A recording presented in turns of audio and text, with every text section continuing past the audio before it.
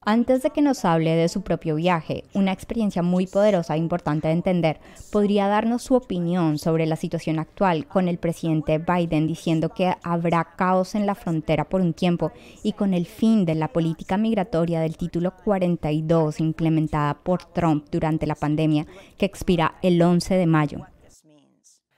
Ah, el, caos siempre ha existido. Ah, ha existido en los 80, Ah, cuando bastante gente de El Salvador se estaba emigrando a este país. Ha existido en los 90, en los 2000 y está existiendo ahorita y va a seguir existiendo porque las situaciones en nuestros países no cambian. Y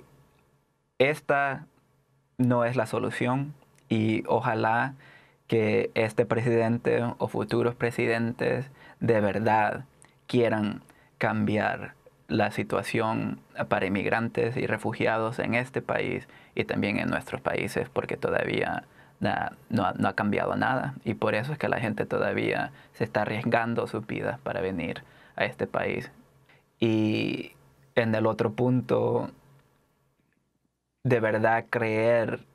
creerle a los inmigrantes que son sobrevivientes y que son, sí son refugiados y ayudarlos en vez de meterlos en la cárcel,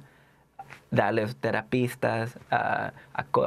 concejales, a consejeros y ayudarlos a una, tener una mejor transición de ser inmigrante a involucrarnos, involucrarlos en este país y en esta sociedad.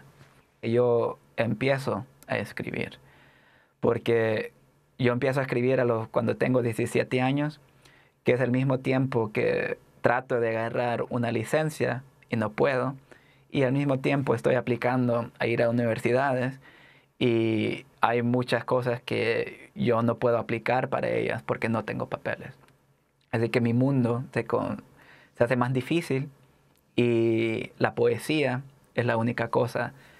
que yo tengo para analizar mi vida, porque no teníamos dinero para un terapista. Y y es donde yo comienzo a recordarme del Salvador y eventualmente escribo mi libro de, poemas que es más como analizando el por qué mi familia está aquí. Y es cuando les comienzo a, a preguntar y hacerles preguntas sobre la guerra. Y este otro libro, que ahora es en mis memorias de esas nueve semanas, está tratando de responder esa misma ah, pregunta,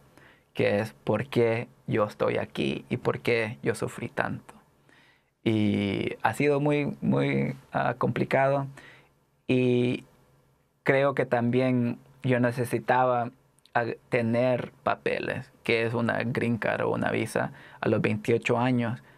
para